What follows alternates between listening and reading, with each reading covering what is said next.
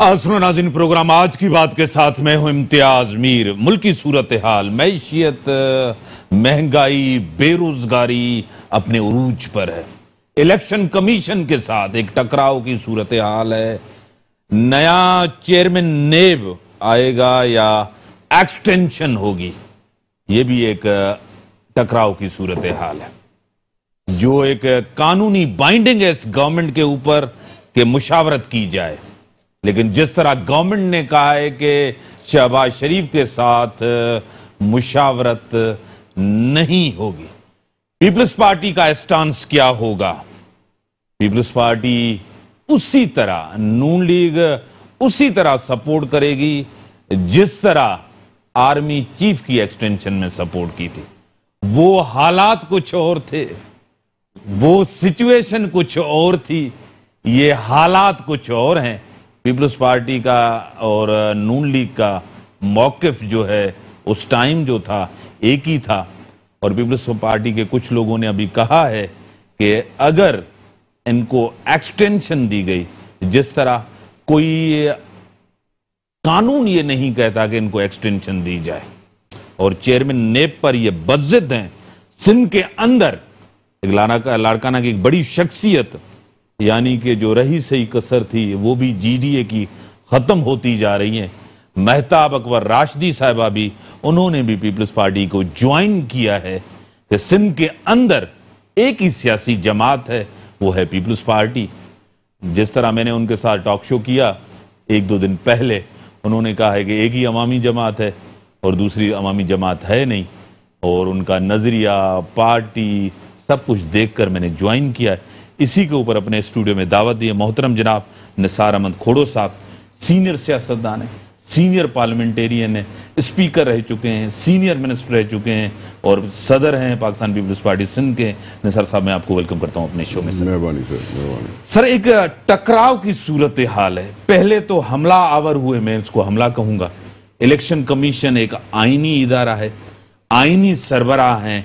जिस तरह उन्होंने कहा है कि इदारों को आग लगा दें और पैसे लिए जाते हैं।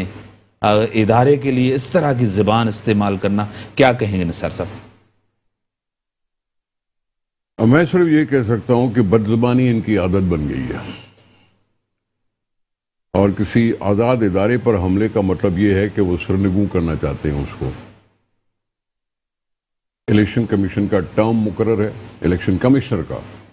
टर्म मुकर होता है, उसके मेंबर्स होते हैं, और ये पूरी इलेक्शन कमीशन होती है जो रिस्पॉन्सिबिलिटी उठाती है कि इलेक्शन फ्री एंड फेयर हों। इल्ज़ाम है इलेक्शन पर इलेक्शन कमीशन पर। कि 2018 की इलेक्शन में उन्होंने एक ऐलान किया आरटीएस सिस्टम का, और फिर अचानक कह दिया कि जी फेल हो गया। ये इल्ज़ाम है। अब ये इल्ज़ाम को तकवीत दे रहे हैं।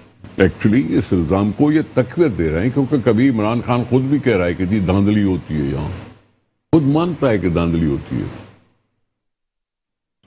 तो जो वो जीता है, उसके लिए मैं कह सकता हूँ धांधली की पैदावार है।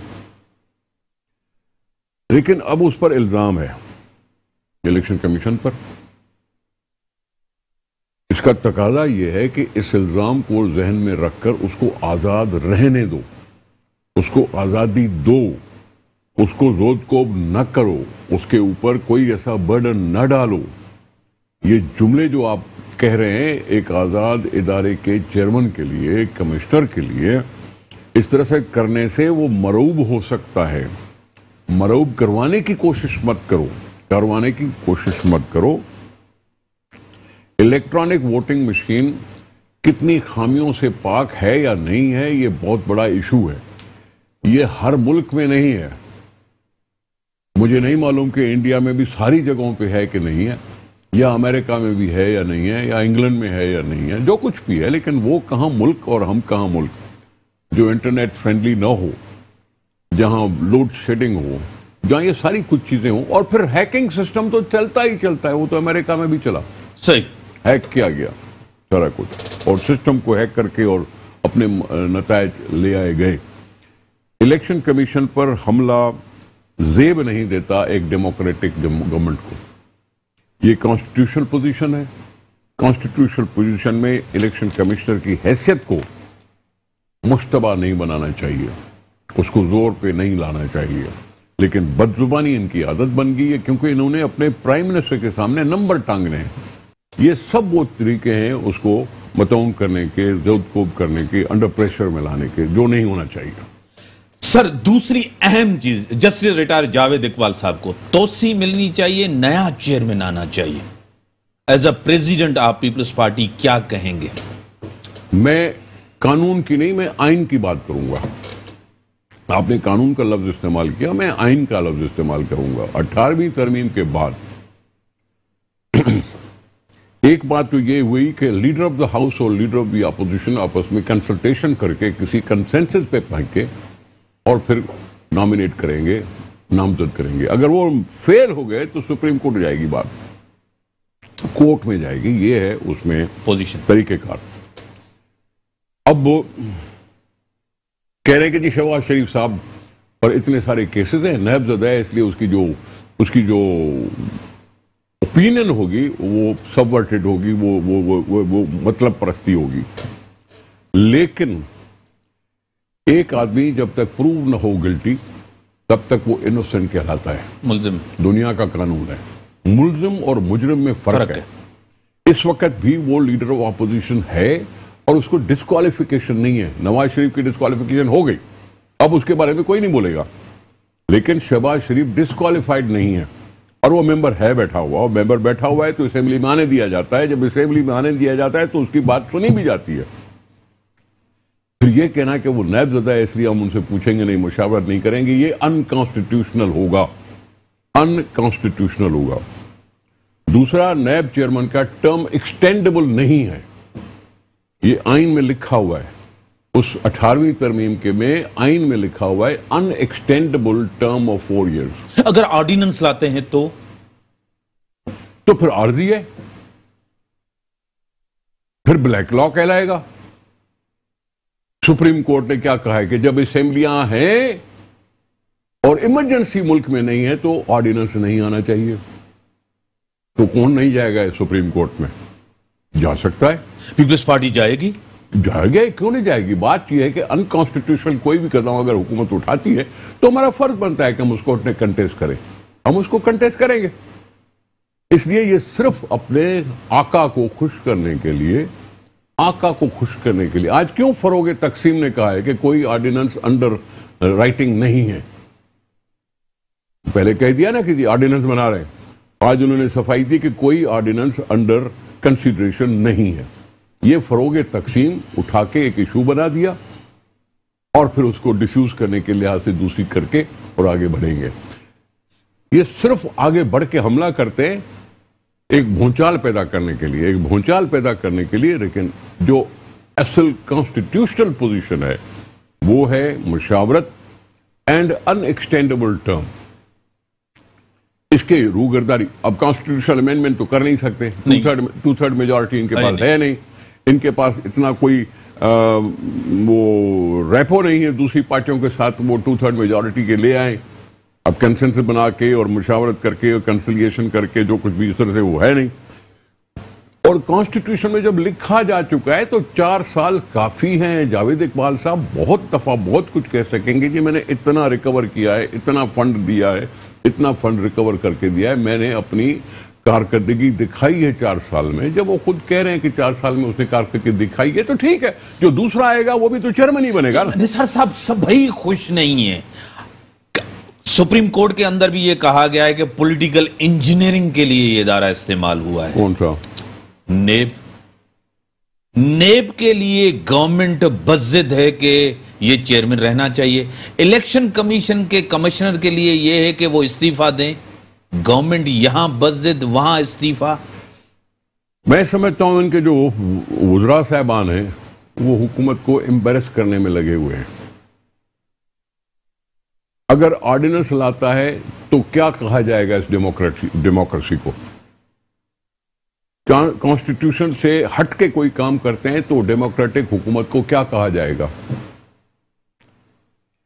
लिखा हुआ है कॉन्स्टिट्यूशन में, इलेक्शन कमीशन को पहली दफ़ा, और नैब के चेयरमैन के लिए पहली दफ़ा, जैसे जुडिशरी के लिए जुडिशल कमीशन बनाने की एक तस्वर पेश किया गया इसी तरह इसके लिए मुशावरत का तस्वर पेश किया गया। और मुशावरत का इसलिए कि कोई यह ना कहे कि हुकूमत ने नॉमिनेट कर दिया, इसलिए हमें मार रहा है। ये मुशावरत का तस्वर क्यों है? कि अपोजिशन में बैठा हुआ हुकूमत पर यह इल्ज़ाम ना लगाए कि जी तुमने अपॉइंट किया है, इसलिए हमें मार रहा है। इनपुट होनी चाहिए अपोजिशन की भी। ठीक है? इंडिपेंडेंट तभी होगा, वो सिक्योरिटी तभी महसूस करेगा। हम एतराज़ करते थे कि तुम नैब के चेयरमैन को अपने पास बुला के क्यों हिदायत दे रहे हो? उसको अपना काम करना चाहिए। यह बात हुई थी इस तरह से कि नैब के चेयरमैन के साथ मुलाकात हुई और फिर उसमें आगे ये ये, ये जो इकदाम हुए जिसमें किसी ने कहा कि जी हम पर जानबूझकर ये किया जा रहा है हमला अपने साथियों को कुछ नहीं कर रहे हैं अपोजिशन को यूँ कर रहे हैं ये कर रहे हैं सारा कुछ। ये बात इस तरह से है। तो ये ये ये कंसेंसस बनाने का तस्वर ये है कि हुकूमत पर इल्ज़ाम ना आए कि उन्होंने अपनी मर्ज़ी दिखाई है। डिस्क्रेशन नहीं होनी चाहिए इस ऐसे वाले उहदों पर जो इंसाफ के तकाजे पूरे कर सके या इलेक्शन को फ्री एंड फेयर करा सके, उस पर ये क्रेडिबिलिटी होनी चाहिए, ठीक है? मैं इस तरह से। निसर साहब जुडिशियल एक्टिविज्म हो या इदारों की मुदाखलत हो एग्जेक्टिव के अंदर, चाहे सुप्रीम कोर्ट ने इस दफ़ा जो कहा कि शेम ऑन सिंध गवर्नमेंट ऐसी चीज़ें जब भी होती हैं सिंध गवर्नमेंट हो या कोई भी गवर्नमेंट हो, इस तरह फ़ंक्शन कर सकती है सर सर देखें, बात सुने। जुडिशरी का आलमी तस्वर यह है कि जुडिशरी अपने ऑर्डर से बोलती है। ठीक है ऑर्डर से। अब जो भी हियरिंग हुई उसके बाद ऑर्डर क्या निकला? उसमें तो शेम ऑन सेंट गवर्नमेंट लिखा हुआ नहीं। उसमें तो ये मलबे मलबे का ज़िक्र नहीं। उसमें तो कोई ऐसी चीज़ें जो उन्होंने ऑब्जर्वेशन दी उसमें हुक्म में लिखा हुआ नहीं है। आपने भी शायद पढ़ा हो। हाँ। ठीक है सर उसमें कोई ऐसी बात नहीं लिखी हुई। चौधरी इफ्तार पर हमारी तनकीद क्या होती थी? कि इफ्तार चौधरी साहब न सिर्फ़ ऑब्जर्वेशन देते हैं, लेकिन जानबूझकर अपनी न्यूज़ की हेडलाइन लगवाते हैं। वीआईपी कल्चर अपनी जगह पे। वीआईपी के लिए वो डिमांड करते थे, ये कुछ भी करते थे अपनी जगह पे, लेकिन जो ऑब्जर्वेशन देते थे, वो जानबूझकर उसकी कवरेज भी कवर करते थे कि जी कहाँ लगती है मेरी प्लेसमेंट क्या है मेरी न्यूज़ की। तो वो ऑब्जर्वेशन हमेशा एक सनसनी पैदा करने के लिए होती है। और वो सनसनी बोल दो लेकिन लिखो नहीं। तो मैं क्या कहूँ? इसलिए मैं समझता हूँ मोदबाना गुजारिश है कि सबसे बड़ा इदारा है जुडिशरी जो आइन को इंटरप्रेट करने की भी ताकत रखता है। हाँ। वहाँ पर बैठकर इस तरह से रिमार्क्स देना मुनासिब बात नहीं है। अगर कोई एडवोकेट जनरल उठ के खड़ा होता है कि जी, ये चालीस साल पुरानी बात है तो उसको गैर जिम्मेदार क्यों कहें? है तो है। उस वक्त तो आपके हमारे बड़े जाबिर हुक्मरान होते थे। ये हाई राइजेस बिल्डिंग बनाने का तस्वर जो था, वो जनरल मुशरफ ने किया। जो कमर्शलाइजेशन का एक तस्वर आया, जनरल मुशरफ के जमाने में हुआ। तो जब कोई लिखते हो जब कुछ कहते हो तो फिर उन हकमों का ज़िक्र करो ना। ज़िक्र करना चाहिए कि उन्होंने ये गलत किया। सही। पहले वन टू फोर होता था ना सिर्फ़। अभी पंद्रह आज का इमरान खान क्या कह रहा है? हाई राइजेस बनाओ। वर्टिकल जाओ। पचास मंजिला बनाओ। फिर उसके बारे में क्यों नहीं कहते? एक कराची ढेर है मलबे का ढेर है। कैसे बोल रहे हो? कोई घूम के देखो कोई बात करो कल पहले कराची क्या होती थी अब कैसे बेहतर हो गई है? कुछ देखना चाहिए। ऐसी गंदगी गलियाँ गंदी गलियाँ तो और जगहों पे भी है। तो जाए ना फिर बलूचिस्तान में भी जाके ये कहें केपी में भी जाके कहें पंजाब में भी कहें। ये सिंध में क्यों कहा जाता है? वजह मैं मैं वही अर्ज़ कर रहा हूँ ना कि हम पर कोई खास मेहरबानी है। सबकी? नहीं। किसी और ने कोई अभी ऐसा कोई बयान नहीं दिया? कहते हैं एनएफसी के तहत भी पैसे नहीं मिलते। हम कह रहे हैं ना? हाँ ना। हम कह रहे हैं। मैं ब्रेक के बाद आता हूँ ब्रेक के बाद आना ब्रेक का टाइम हो गया। ब्रेक के बाद आते हैं निसारवंत खोड़ो साहब सीनियर रहनुमा सीनियर सियासत मेरे साथ हैं ब्रेक का टाइम वेलकम बैक नादरीन जिस तरह मुल्क की सूरत हाल है आपके सामने है इस नाअहल नाकाम गवर्नमेंट ने तबाही मचा दी। तीन साल का अरसा कुछ भी अवाम को नहीं मिला। और लंगर खाने खोलने से गुर्बत मिट जाएगी। बद से बदतर हालात हैं। मुल्क के डॉलर कहाँ से का? बुलंद तरीन सतह पे डॉलर है। और पेट्रोल भी बुलंद तरीन सतह पे नाकाम गुजरा ना अहल गुजरा जिनके ऊपर केसेस हैं, वो भी तो बैठे हुए हैं ना। अगर इनसे हम पूछते हैं कि महँगाई कम क्यों नहीं हो रहे? पिछली गवर्नमेंट और मुल्क की सूरत हाल बेहतर। पिछली गवर्नमेंट से और पूछते हैं कि परफॉर्मेंस बेहतर इमरान खान ईमानदार। ये तीन साल का अरसा है दो साल आगे हैं और क्राइसिस बढ़ते जा रहे हैं बद से बदतर होते जा रहे हैं। निसार साहब सूरत हाल आपके सामने है परफॉर्मेंस आपके सामने है। आप प्रेसिडेंट हैं सर। महँगाई बेरोजगारी आपके सामने अभी तक खान साहब माफिया से नहीं निकल रहे अगर माफिया इनको पता है तो माफिया को पकड़ते क्यों नहीं है? इस नए पाकिस्तान में आपको कुछ नया लग रहा है? ये नया है? देखिए इमरान खान साहब आज कल परसों भी उसने ये कहा कि मैंने अभी सीखा है। हाँ तीन साल में मैंने अभी सीखा है इतना कभी नहीं सीखा था जितना इन तीन सालों ने मुझे सिखाया है। अब क्या सीखा है वो हमें नहीं मालूम। हम तो क्या सारे लोग कह रहे हैं कि हुकूमत नाकाम है। पेट्रोल की बात आपने की, कहते हैं कि 107 रुपए का लीटर होना चाहिए। टैक्स लगा के, सब कुछ लगा के, इंटरनेशनल मार्केट को देख के सबको, ये 107 रुपए का होना चाहिए। बिक रहा है 123 रुपए का। 17 रुपए ज़्यादा लोगों से लिए जा रहे हैं। पेट्रोल बढ़ता है तो हर चीज़ महँगी होती है। ट्रांसपोर्ट अपनी जगह पे जो महँगी हो, सो हो। लेकिन एग्रीकल्चर सप्लाईज जो मार्केट में आती हैं, वो भी महँगी हो जाती हैं, क्योंकि वो भी ट्रकों पे चढ़ के आती हैं। ठीक है? तो सब कुछ चीज़ महँगी हो जाती है। दूसरी आपने बात बात की डॉलर की। Stable stable stable. सब लोगों ने देख लिया, दो महीने में पंद्रह रुपए डॉलर पे बढ़ाई हुई है। 155 का हो गया था। अब 170 से भी ऊपर गया है। ये इसकी कोई एक्सप्लेनेशन नहीं। स्टेट बैंक को कह दिया कि जी, स्टेट बैंक इसको देखे। अब देखने से क्या होता है? आपने इंपोर्ट का बिल बढ़ा दिया। आपकी एक्सपोर्ट उसी में ही छुप गई। एक्सपोर्ट आपकी हो नहीं रही क्योंकि आपकी लोड शेडिंग है, आपका सब कुछ है। प्रोडक्शन इतनी नहीं है, बाहर मुल्कों में जाना नहीं है। लोग अच्छा बुज़ुर्ग कह रहे हैं कि जी लोगों के पास कुत खरीद बढ़ गई है। कम कम हो कह रहे हैं कि कुत खरीद बढ़ गई है। मैं सोचने लगा कि क्या बोल रहे हैं क्या बोल रहे हैं। इस वक्त चावल की अभी कटाई नहीं हुई। तो हारियों को आबादगारों को टका भी नहीं आया।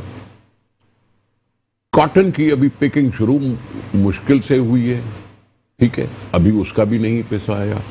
शुगर केन अभी कटा नहीं है कि उसके पैसे आए। गंदम अभी लगी नहीं कि उसके पैसे आए। ये आबादगार जो 60-70 परसेंट कहते हैं सेल्फ एम्प्लॉयड है उनके घर में ये महीने दरअसल तेरवा महीना कहलाते हैं। हाँ, ये तेरवा महीना चल रहा है हमारा ठीक है? जिसको मुश्किल तरीन महीना कहते हैं। जिसको मुश्किल तरीन महीना कहते हैं क्योंकि उसमें कुछ आता नहीं है। आता नहीं है कि हम कुछ कुत कुत खरीद कर सकें। लेकिन वफाकी वजरा का ये राग है कि जी कुत खरीद बढ़ गई है। इमरान खान बड़क मारता है कि जी, गाड़ियों की सेल बढ़ गई है। गाड़ियों की सेल बढ़ी है लीजिंग पर। लीजिंग पर सेल बढ़ी है तो उसमें इसको बड़े लोग खरीदते हैं ना। हम तो बात गरीबों की कर रहे हैं ना। हम तो बात कर रहे हैं उसमें 98 परसेंट गरीबों की 96 परसेंट गरीबों की, जिनके पास लेबर की तनख्वाह इन्होंने बढ़ाई नहीं। आबादगारों की इन्वेस्टमेंट को इसने बढ़ा दिया कि जी अब आजकल फर्टिलाइज़र साढ़े छह हज़ार रुपए का डीएपी फर्टिलाइज़र है, साढ़े छह हज़ार। सब्सिडी सब्सिडी दी नहीं। कहाँ दे रहा है? अपनी जगह पे। लेकिन ये सारी चीज़ें जो है, ये सब आँखें चुराने वाली बात है, बेपरवाही की बात है, और ये बस बोल दिया तो बोल दिया। हम लोग इस पर नाला हैं। मेरे सिंध के हर ज़िले से एहतजाज चल रहा है। मेरे सिंध के हर ज़िले में एहतजाज चल रहा है। वहाँ लोग आते हैं और हुकूमत को बद दुआएँ दे रहे हैं। हुकूमत को हज़ारों लोग आते हैं हज़ारों लोग आते हैं और बददुआएँ देते हैं। रोज़ाना किसी न किसी निसर साहब जब पीडीएम थी एक प्रेशर था गवर्नमेंट के ऊपर। पीडीएम का तकसीम होना कमज़ोर पीपल्स पार्टी का बाहर निकलना ये फ़ायदा नहीं हुआ इमरान खान को। मैं नहीं समझता। पीडीएम ने खुद अपने पाँव पे खुद वो तो ठीक है आपकी मैं नहीं बात नहीं नहीं नहीं, नहीं हाँ, फिर आप पीपुल्स पार्टी का नाम ना लेना। ना निकलना। नहीं पीपुल्स पार्टी का नाम ना लें। ये पीडीएम एक इलेक्शन अलायंस भी नहीं था। एक डेमोक्रेसी के लिए ज्वाइंट स्ट्रगल की बात थी। और ज्वाइंट स्ट्रगल में हमने जिम नहीं की थी अपनी पार्टियाँ कि हम पर शोकाज नोटिस निकाला जाए। हमें सरेआम बेजत किया जाए। उसका नतीजा क्या निकला? पहले तो एएनपी निकल गई पीपुल्स पार्टी का बाद में नाम आया। हमने फिर भी बर्दाश्त किया, फिर भी बर्दाश्त किया, लेकिन ताबड़तोड़ हमले हुए, फिर हमने कहा नहीं आते। लेकिन उन्हें पाँव पे अपने खुद कुल्हाड़ी मारी। जब हम लोग सब तैयार थे, हमने बोरी बस्तरा भी बाँध लिया था कि जी हम इस्लामाबाद जा रहे हैं, जा रहे हैं, जा रहे हैं, हर जगह मैं गया। मैं गया। दूसरे गए थे या नहीं गए थे, मुझे नहीं मालूम। मैं कम से कम गया था। हम सारे तैयार बैठे थे। अचानक ये क्या बात हो गई कि जी इस्तीफा दो तो फिर लॉन्ग मार्च करेंगे। ये तो कोई लिखा हुआ ही नहीं है। इस्तीफा तो वैसे भी लास्ट ऑप्शन के तौर पे कहा गया था कि जी उसको भी सोचेंगे, गौर करेंगे इस्तीफे देने पर। अब इस्तीफा भूल गए सारे। अब कोई इस्तीफा की बात ही नहीं कर रहा। जब पीपुल्स पार्टी थी तो इस्तीफा इस्तीफा इस्तीफा इस्तीफा के सिवा कोई बात नहीं होती थी। अब अगर पीपुल्स पार्टी पीडीएम में नहीं है तो इस्तीफा का तो ज़िक्र ही करना छोड़ दिया। ये पीडीएम ने अपने पाँव पे खुद कुल्हाड़ा मारा और अपोजिशन को कमज़ोर किया। जिसने कुल्हाड़ा मारा उस पर इल्ज़ाम दो कि उसने इनडायरेक्टली इमरान खान की हुकूमत को रहने दिया। मौलाना फजल रहमान करें पीपल्स पार्टी ने पीठ पे खंजर घोंपा। मैं कहूँ वो उन्होंने खंजर घोंपा। खंजर तो उन्होंने घोंपा। जब हम जा रहे थे लॉन्ग मार्च का ये ऐलान था ना हैदराबाद के जलसे में लॉन्ग मार्च का ऐलान आपने तैयारी की थी पूरी? हमने तैयारी की थी। अगर हमें उस वक्त कहा उसने कि जी इस्तीफा देंगे तो हम जाएँगे नहीं कहा उसने। जलसे में क्यों नहीं कहा भला? जब हो रहे थे जलसे इसी वास्ते हो रहे थे कि जी हम निकलेंगे निकलेंगे तभी तो कुछ बात नहीं थी। अब हमें कह रहे हैं बैठ के। सर अरे, अरे, अरे, हाँ, एक हाँ, मिनट। हाँ, हाँ। मुझ पर इल्ज़ाम आ रहा है कि जी पीपुल्स पार्टी ने यूँ किया। कभी जेयूआई से पूछा सही कि उनका सिंध का खास ओहदेदार बना। हुकूमती अलायंस के साथ क्यों बैठता है? क्यों बैठता है उनके साथ जबकि आप हुकूमत के खिलाफ चल रहे हो? अभी आपने एतराज़ कर दिया कि जी पार्लियामानी कमेटी पे बताना चाहिए।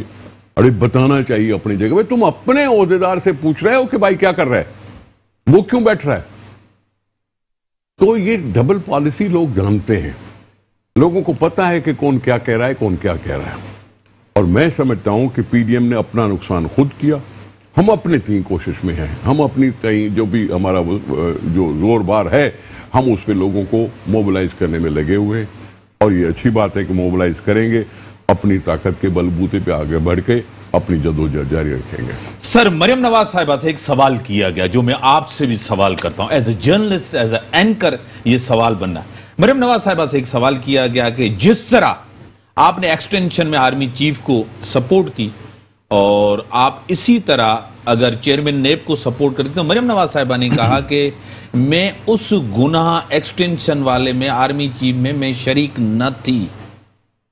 हाँ मैं उस गुनाह में शरीक न थी। गुनाह में? हाँ उन्होंने गुनाह तो क्या अपने अपने वालिद के खिलाफ बोलिए क्या? मैं हाँ मैं वही तो कह रहा हूँ ना। अपने वालिद के खिलाफ बोली ना फिर तो। नून लीग पूरी थी। मैं कह रहा हूँ, अपने वालिद के खिलाफ बोली। चेयरमैन या सरप्रस्त आला नवाज़ शरीफ साहब हैं। नवाज़ शरीफ साहब ने बगैर किसी कंडीशन के अपनी पार्टी को कह दिया कि जी हाँ सपोर्ट करो। हम तो बाद में आए। बिलावल साहब का क्या था? हम तो कुछ कर भी नहीं सकते। अगर ना करते तो भी फेल हो जाते। हाँ करते तो ठीक है, हमारे हाँ कर ली। हमारी तो कोई इतनी हैसियत नहीं थी ना कौमी असेंबली में। ठीक है? लेकिन मरियम साहबा के शायद मैं समझता हूँ ऐसे आ, निकल गई है ज़ुबान से बात। लेकिन वो एक्चुअली वो एक्चुअली अपने वालिद के खिलाफ बोली है। अपने वालिद के खिलाफ बोली है। उसका बयानिया बाद में चेंज हुआ। उसका बयानिया बाद में चेंज हुआ है या जो कुछ भी हुआ है। लेकिन पीएमएलएन ने उठते ही कह दिया था कि हम एक्सटेंशन में उसकी हिमायत करेंगे। जो और वो वो जो बयान है वो नवाज़ शरीफ साहब का होगा। किसी और का नहीं हो सकता। किसी शहबाज शरीफ का नहीं हो सकता किसी ख्वाजा आसिफ का या किसी और का नहीं हो सकता। मियाँ नवाज़ शरीफ ने अपनी पार्टी को कहा अपने पार्लियामानी ग्रुप को कहा कि जी इसमें आप सपोर्ट करो बगैर कंडीशन के। और हम बैठे इधर उधर झाँक रहे थे "अरे ये क्या हुआ? हमसे पूछा तक नहीं? पूछा तक नहीं। हमसे पूछा तक नहीं। तो ये मैं समझता हूँ मरियम साहबा को फिर से कोई तरदीद करनी चाहिए नहीं तो समझा जाएगा कि वो अपने वालिद के खिलाफ है। सर एक चीज़ अगर अपोजिशन मिलके असेंबली के अंदर और बाहर नून लीग के अंदर एक बड़ी डिवीज़न आपको नज़र आ रही है। शहबाज शरीफ उमर रहे सुन रहे सर नज़र भी आ रही है ना मीडिया है आज के दौर के अंदर। एक सख्त लहजा होता है एक एक एक एक बड़ा नरम लहजा होता है। है। ठीक है ना? एक बड़ा मौके पर। अगर ये अपोजिशन एक साथ होती असेंबली के अंदर और बाहर तो इस गवर्नमेंट की जो परफॉर्मेंस है ही नहीं परफॉर्मेंस गवर्नमेंट आपको नज़र है। ये गवर्नमेंट बेसाखियों पे गवर्नमेंट है।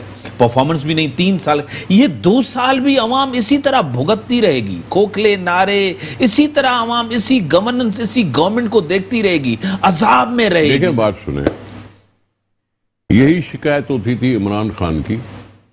और वो कंटेनर पे खड़ा होकर दो ढाई हज़ार लोगों के सामने रोज़ाना तकरीर करता था। और तकरीर करते करते उनको बुलावा आया, उंगली का इशारा हुआ। और वो कंटेनर छोड़ के वहाँ चले गए। बड़े खुशी खुशी वापस आए। लेकिन कंटेनर खुद से उन्होंने विड्रॉ कर लिया और वापस उसी असेंबली में जाके बैठ गए जिसको वो गालियाँ दे रहे थे। ये कंटेनर की कहानी कुल ये है। फिर इमरान खान को इंतज़ार करना पड़ा इलेक्शन का। हुकूमत ने पाँच साल पूरे किए। प्राइम मिनिस्टर एक गया, दूसरा आ गया। और उसके बाद इलेक्शन हुए। इलेक्शन की रिजल्ट्स पर हम बैठ के बहस करते रहते हैं और करते रहेंगे। अब हमारे पास क्या है? अवामी ताकत। क्या अवामी ताकत के सामने इमरान खान में इतनी अखलाकी जुरत होगी जितनी अयूब खान में थी? अयूब खान के खिलाफ लोग निकले उन्होंने खुद से कह दिया कि लोग मुझे पसंद नहीं करें, ऐसे मैं जा रहा हूँ। याया खान को मौका दिया और उन्हें अनकॉन्स्टिट्यूशनली आके टेक ओवर किया और अयूब खान ने चुपचाप करके उसको दे दिया। क्या इमरान खान में इतनी अखलाकी ज़रूरत होगी कि हम अगर लाखों का मजमा करें तो वो इस्तीफा दे के चला जाए? एक तो ये ऑप्शन है। दूसरा ऑप्शन है वो पार्लियामेंट के अंदर। नो कॉन्फिडेंस उसका टेस्ट एंड ट्रायल में एक प्रपोजल दिया गया थी, पंजाब में जरा कोशिश करो। अगर पंजाब में कुछ हो जाता है तो आगे भी हम बढ़ सकते हैं। अब पंजाब में पता नहीं चल रहा है कि जी चौधरी निसार साहब पीटीआई में शामिल हो गए हैं और तेरह अरकान असम्बली के साथ चले गए हैं और ये है, वो है, मुझे नहीं मालूम कितनी सच्चाई है, इसमें कितनी नहीं है सच्चाई, मुझे नहीं मालूम। एक दिन तो अखबार में ये भी आ गया कि जी इमरान खान को चौधरी निसार की शक्ल में एक और वज़ीर अला दिखाई दिया ये भी अखबार में आ गया। एक अखबार में ये भी आ गया। मैंने पढ़ा, ठीक है। तो अब वो शायद पंजाब में ये कर नहीं पाएँगे। वैसे भी जब उन्होंने कहा था कि जी इस्तीफा दे रहे हैं तो काफ़ी सारे लोग जाके चीफ मिनिस्टर से मिल लिए थे और कह गए थे कि जी नवाज़ शरीफ साहब होते कौन हैं जो हमसे इस्तीफा मांगे? लेकिन हमने ज़रूर कहा था हमारे चार आदमी हैं या सात आदमी हैं। मुझे पता है कि मैं उन चार सात आदमियों के साथ पंजाब में नो कॉन्फिडेंस नहीं ला सकता जब तक कि पीएमएलएन तैयार न हो। और इसी तरह से पीएमएलएन अगर वफाक में बैठी है और हम भी साथ हैं तो ये भी काफ़ी नहीं है जब तक कुछ न कुछ और लोग हमारे साथ मिल नहीं जाते। लेकिन नून लीग ये जाती है पीपल्स पार्टी खामोश हिमायती है पीटीआई गवर्नमेंट कैसे? ब्रेक के बाद आता हूँ। आपको क्या निसार साहब कह रहे हैं कि इस गवर्नमेंट को दो साल चलने दिया जाए ज़्यादा एक्सपोज हो या ये दो साल आप तहरीक न चला के आप ज्यादती कर रहे हैं अवाम के साथ। ब्रेक के बाद आऊँगा। ब्रेक का टाइम हो गया। ब्रेक के बाद आते मोहतरम जनाब निसार अहमद खोड़ो साहब मेरे साथ स्टूडियो में। ब्रेक के बाद आते वेलकम बेकनाज जो मुल्क की सूरत हाल है आपके सामने है एक सर्द जंग। रशा रसा कशी हुकूमत, इलेक्शन कमीशन बद से बदतर हालात है, सख्त लहजा। हुकूमत में कंटेनर पे आज भी, ये गुजरा खान साहब आज भी कंटेनर पे, मैं किसी को नहीं छोड़ूँगा। और माफिया के खिलाफ में, जंग में मैं कामयाब हूँ। तीन साल से प्राइम मिनिस्टर हैं और अभी भी कहते हैं कि मैं किसी को नहीं छोड़ूँगा। कामयाबी मेरी होगी। तीन साल में अभी तक कामयाब नहीं हुए माफियाज के खिलाफ। माफिया इतना बड़ा ताकतवर हैं इस मुल्क में जो अभी तक वो कामयाब नहीं हो रहे। सर, सिंध। सिंध के अंदर आपकी हुकूमत है, बड़ी ताकतवर हुकूमत है। और एटीन अमेंडमेंट के बाद सारे पावर्स आपके पास हैं।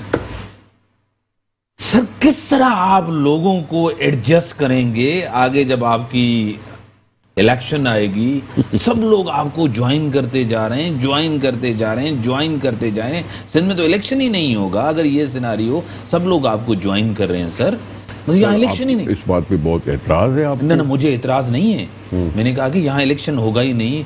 अब बहुत ही बड़ी अच्छी शख्सियत ज़बरदस्त शख्सियत बड़ी अदीब दानश्वर मेहताब अकबर राष्ट्री ने ज्वाइन किया है। क्या कहेंगे सर मेहताब अकबर राष्ट्री साहबा यकीनन पार्टी के लिए एक एसेट मानी जाएगी।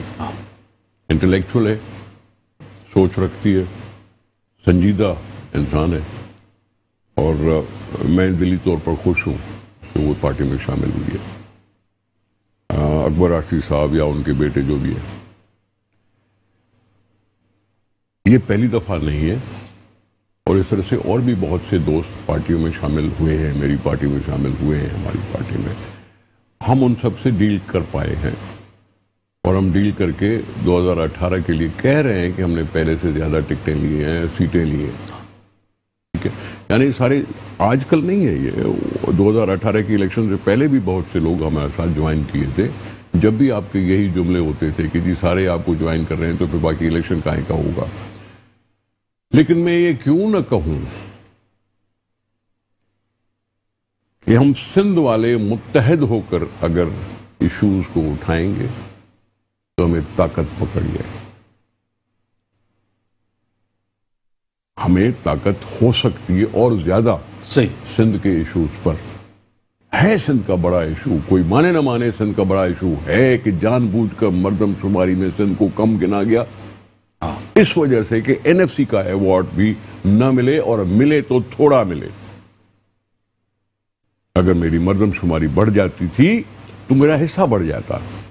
और हिस्सा वो देना नहीं चाहते। आज तक नहीं दिया। दस साल, ग्यारह साल हो गए, जबकि 2015 में होना चाहिए था। तो फिर हम बढ़ते जाएँगे। पार्टी, वो आपको जमाना याद नहीं है?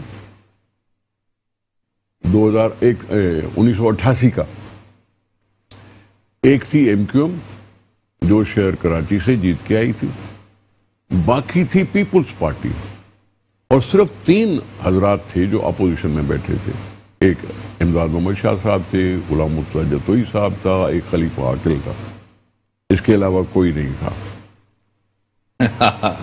ठीक है याद होना चाहिए आपको ये बातें ऐसी हुई हैं आप हम सब भूले नहीं हैं।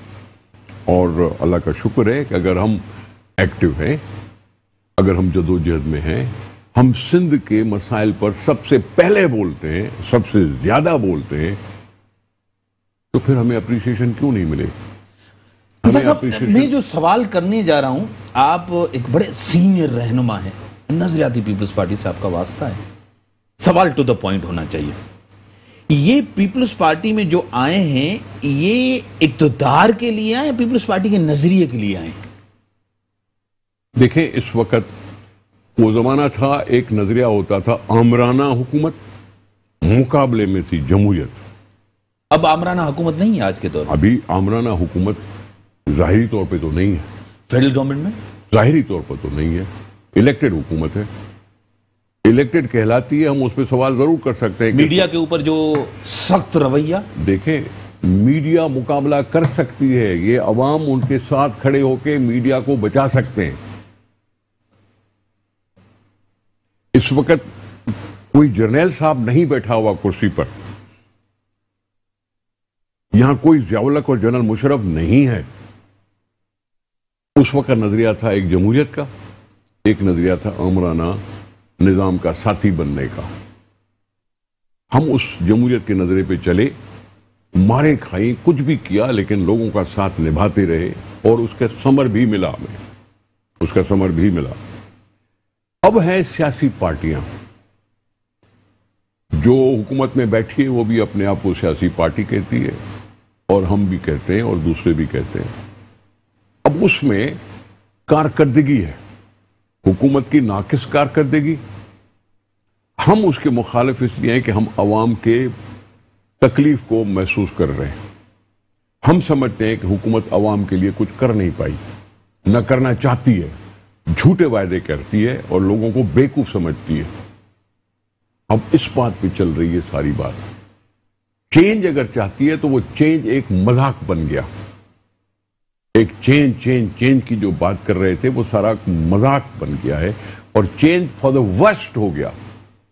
तो लोगों ने कहना चाहिए कहना शुरू कर दिया हमें तो पुराना पाकिस्तान चाहिए नया पाकिस्तान नहीं चाहिए।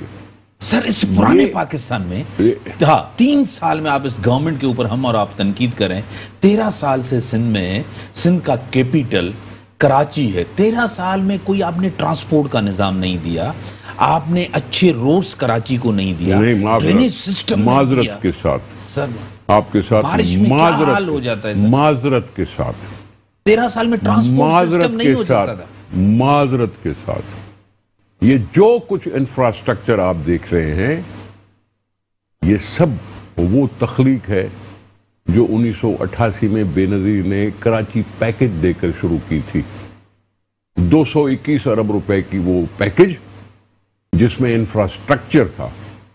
नहीं था दो सौ उन्नीस से पहले express Lyari expressway northern bypass Sohrab Goth का पुल, फला का ब्रिज फला का ब्रिज न था केपीटी न था लिली ब्रिज न थी कोई क्लिफ्टन ब्रिज ये सारा इंफ्रास्ट्रक्चर उसी से शुरू हुआ है। लाहौर को मेट्रो सर कराची को मेट्रो नहीं एक सेकंड जनाब एक सेकंड। उस मेट्रो पर कितनी कदगने हुई उसकी मेट्रो पर कितनी तनकीदें हुई उस मेट्रो पर क्या क्या कुछ नहीं हुआ? हाँ यहाँ भी शुरू की है। अगर एक ग्रीन लाइन अंडर कंस्ट्रक्शन है या नियर कंप्लीशन है तो यहाँ ऑरेंज लाइन भी चल रही है फला भी लाइन चल रही है ये भी शुरू होगी। शुरू होगी अपनी जगह पे। लेकिन क्या था नवाज़ शरीफ पर यह? नहीं था क्या कि सारे पैसे जो है रायवन में लगा दिए? क्या था शहबाज शरीफ पर अटैक इमरान खान वालों का? क्या अटैक था? और क्यों अटैक था? आज हम कह रहे हैं कि जी मेट्रो नहीं है तो अटैक क्यों कर रहे थे? सर जब नवाज़ शरीफ के साथ आप मिल जाते हैं तो उसको कहते हैं जमहूरी है नजरियाती है। जब आप नवाज़ शरीफ से दूर होते हैं तो आप उसको कहते हैं ये अपने वक्त का आमिर था। मैंने कोई ऐसा बयान नहीं पढ़ा। सर हाँ देखे बात सुने। इसी सियासत में इसी पॉलिटिक्स में आज हम इमरान खान पर अटैक कर रहे हैं कि नहीं? हाँ नवाज़ शरीफ पे भी की थी जब वो अमीरुल मोमिनीन बनने की कोशिश में उन्नीस सौ सत्तानवे में था, जब कहता था, मुझे थ्री फोर्थ मेजोरिटी मिली है, इतनी तो कायदे आज़म को भी नहीं मिली। तो कहता था। बड़ी मेहरबानी सर, आपने टाइम दिया और मुल्क की जो सूरत हाल आपके सामने सारम खोड़ो साहब ने खुल के बातें की हैं, सबके हवाले से इसी के साथ दीजिए इजाज़त। अल्लाह हाफिज़।